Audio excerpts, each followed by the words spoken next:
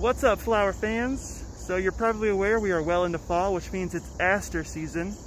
Uh, by asters, of course, I mean those uh, late flowering plants in the genus Symphyotrichum that can be hard to differentiate because they all kind of look the same and most people write them off as weeds. But they are important components of the ecosystem in that they provide a crucial late season nectar source for a lot of insects before they either migrate or hunker down for the winter, or sometimes they move into your house. And they are also the last wave of flower color in the fall before everything goes to seed and turns brown. And then it gets cold and the winter depression starts to set in. So let's get out there and appreciate them while we still can. So we have about 24 or 25 species of asters in Missouri with a bunch of different subspecies and varieties. But here at Litzsinger we only have five to worry about. And all of them can be found out here in our prairies, sometimes along the edges of our woodlands. So we can go ahead and start with this one. Probably the easiest to differentiate. This is the New England aster, Symphyotrichum novae angliae. It has these relatively large and quite showy purple flowers.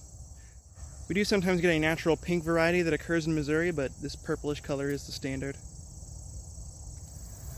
These are much more showy than our other aster species, and they're more commonly used in garden settings. They also get quite a bit taller than most other asters. These are kind of flopped over right now, but you do occasionally see them sticking out over other prairie plants this time of year.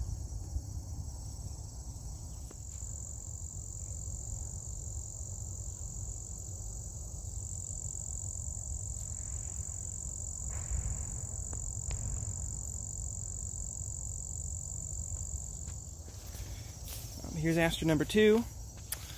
So this is our heath aster or downy aster, Symphyotrichum pilosum. You can see the flowers are much smaller than the New England aster, typically white with yellow centers.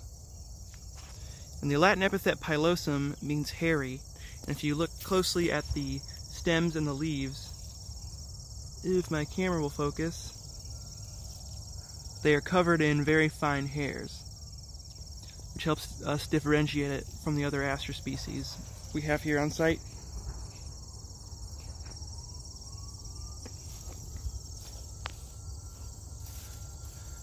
Some nice tall New England right there. And, oh, here we go.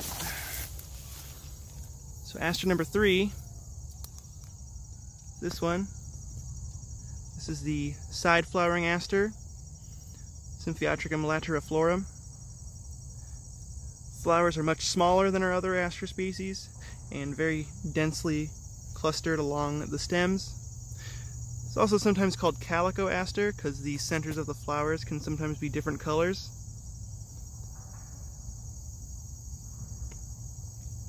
This is generally a more compact plant that's much smaller than our other species here typically limited to openings in the prairie and along the edges. And right next to it, we have one of my favorites. This is the willow-leaved aster, Symphyotrichum praealtum. Forms these nice big uh, mats of these light lavender colored flowers. They grow in clusters like this. This is fine lanceolate foliage that resembles willow leaves, hence the common name.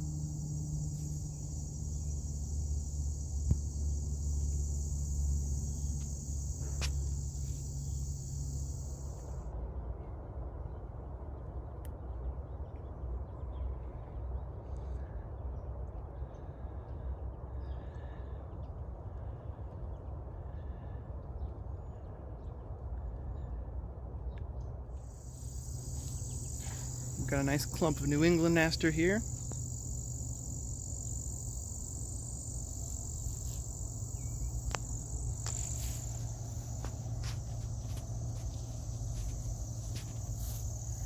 Got one more and I think this is it.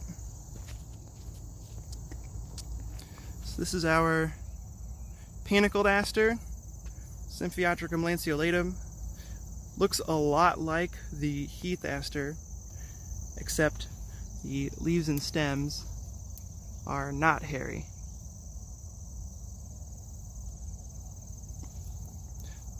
Yeah, typically white flowers, yellow centers, sometimes a reddish color like the calico aster. And this one all you'll also see on the edges of our woodlands. Alright, so we found all five. So that concludes our tour of Litzsinger.